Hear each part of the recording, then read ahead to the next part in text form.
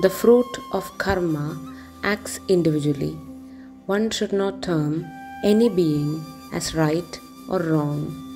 One's competence, destiny, and purity in actions also need to be taken into account for effective evaluation. Navajyothi Sree Karunakara Guru